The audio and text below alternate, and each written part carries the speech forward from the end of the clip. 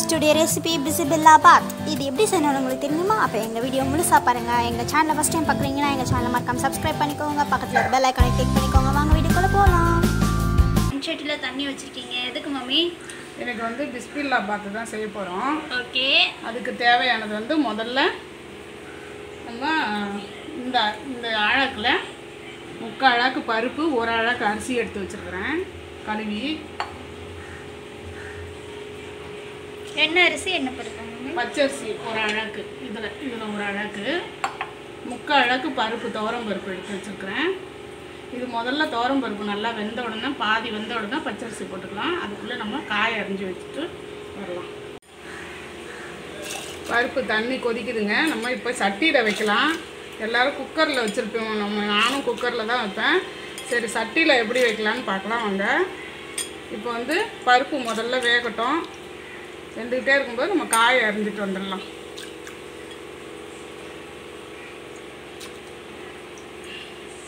இப்போ வந்து இந்த அளவுக்கு கட்டி பெருங்காயம் போட்டுக்கலாங்க. ஏன்னா கட்டி பெருங்காயம் போட்டால் நல்லா வாசனையாக இருக்கும் சாம் சாம்பார் சாதம் கட்டி பெருங்காயம்.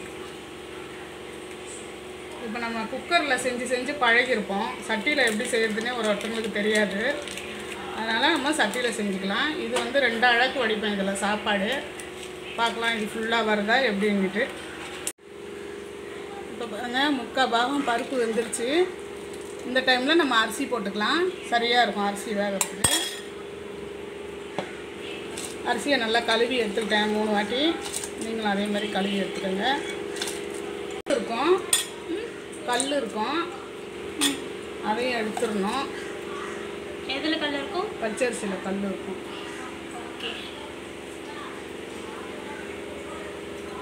இது நல்லா குலைவாக வேகட்டுங்க. இது கொஞ்சம் அரை பாகம் வந்தோடனே நம்ம காய்கறியை வதக்கி போட்டுக்கலாம். இப்போ காய்கறியை வதக்கி எடுத்துக்கலாங்க.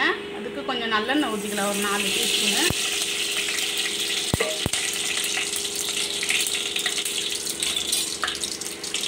இப்போ அஞ்சாறு பச்சை மிளகா ரெண்டாக கட் பண்ணி வச்சுருக்கேன் ஐம்பது கிராம் எடுத்து வச்சுருக்கிறேன். அதுவும் போட்டுக்கலாம்.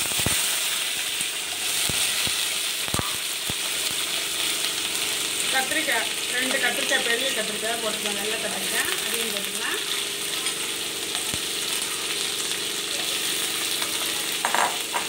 ஒரே ஒரு உருளைக்கிழங்கு. ஒரு நூறு கிராம் அவரைக்காய். ரெண்டு பீன்ஸு.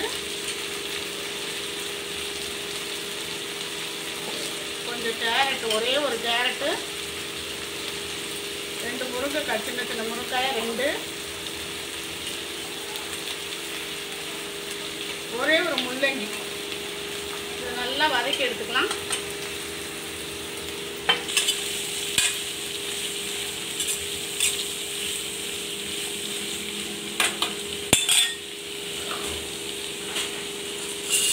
அரை டீஸ்பூன் மஞ்சள் தூள் போட்டுக்கலாம் இதில்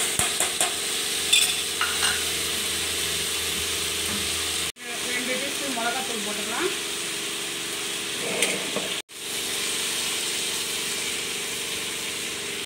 அதில் போடும்போது காமிக்கிறேன். இன்னும் கொஞ்சம் சாப்பாடு வேகட்டும். வெந்த உடனே போட்டுக்கலாம். காய் வெந்துருச்சாமா இல்லை காய் வேகலை. அதில் போட்டு வேக வைக்கணும் இனிமேல் தான் இந்த டைமில் தக்காளி மட்டும் போட்டுக்கலாங்க ஃபஸ்ட்டு அது வதக்க வேண்டாம் அப்படியே போட்டுக்கலாம்.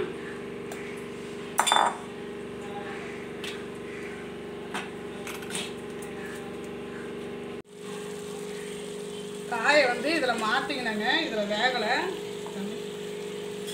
நிறைய ஆயிடுச்சு சாதம். ஸோ இப்போ இது கொட்ட போகிறீங்களா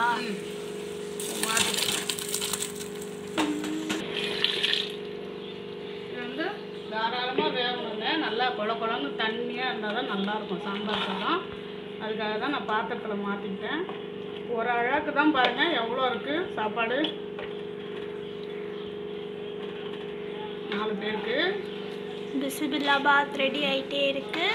ஸோ பார்ப்போம் வெயிட் பண்ணி. இப்போ இதில் மிளகாத்தூள் போட்டேன் பாருங்க நல்லா நொய்ய நொய்யாக வந்துடுச்சு பாருங்க. இப்போ இந்த டைமில் வீட்டில் அரைச்ச சாம்பார் தூள் ஒரு ஒரு டீஸ்பூனு ஆச்சி சாம்பார் தூள் ஒரு டீஸ்பூன் போட்டிருக்கேன். தேவைக்கேற்ற உப்பு போட்டுக்கலாம். இப்போ தான் உப்பே போடுறேன். இப்போ ஒரு சின்ன நெல்லிக்காய் சைஸுக்கு புளி ஊற்றிக்கலாம்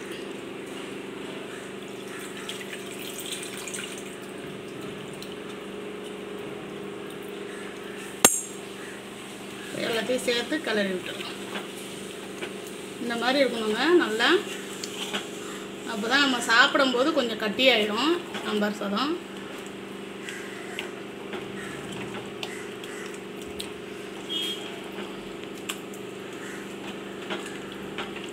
ஒரு ரெண்டு கொதி வரட்டும்.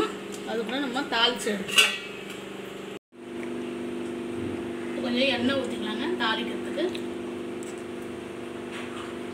சீரகம் வெந்தயம் மூணும் போடுறேன்.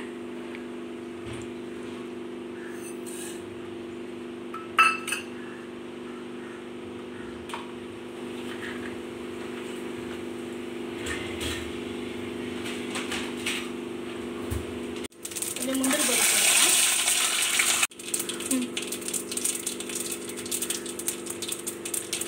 முந்திரி பருப்பு முந்திரி பருப்பு நம்ம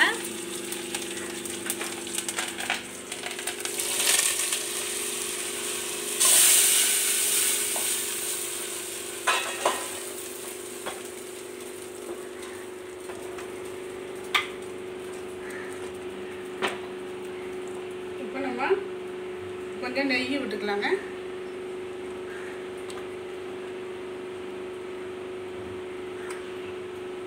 ஒரு மூணு டீஸ்பூன் நெய் விட்டுருங்க இதிலே நம்ம கொஞ்சம் பெருங்காயம் போட்டுக்கலாம் முதல்ல நம்ம கட்டி பெருங்காயம் போட்டால் இப்போ கொஞ்சம் தூள் பெருங்காயம் போட்டுக்கலாம்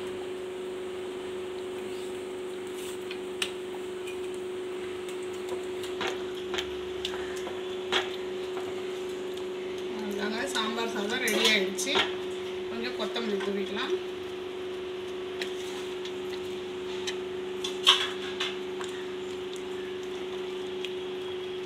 இந்த சாம்பார் பொடி போட்டோம் இல்லைங்களா அது வந்து கொஞ்சம் ஒரு கொதி வந்துடுச்சுன்னா எடுத்துடலாம்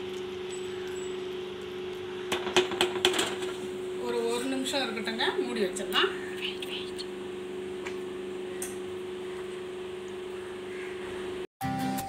பாருங்கள் பிஸ்மில்லா பாத் ரெடி ஆகிடுச்சு இது வந்து நல்லா செம்ம சூப்பராக இருக்குதுங்க. நீங்களும் செஞ்சு பாருங்கள் இது வந்து நான் மண்சட்டியில் மண் சட்டியில் செய்யலான்னு பார்த்தேன். அதில் நிறைய வந்ததுனால இந்த டபராவில் செஞ்சுட்டேன். இதுக்கு வந்து தொட்டுக்க வந்து உங்களுக்கு வாழைக்காய் பொரியல் எது வேணாலும் செஞ்சு சாப்பிட்லாம். நான் இன்றைக்கி வந்து வாழைக்காய் வறுத்துருக்கேன். பொரியல் செஞ்சுருக்கிறேன். வத்தல் இருந்தாலும் வத்தல் வறுத்துக்கலாம். ஊறுகாய் இருந்தால் கூட ஊறுகாய் தொட்டுக்கலாங்க. ரொம்ப சூப்பராகவே இருக்கும் எல்லாமே. ஸோ இந்த வீடியோ பிடிச்சிருந்தா சப்ஸ்கிரைப் பண்ணுங்கள்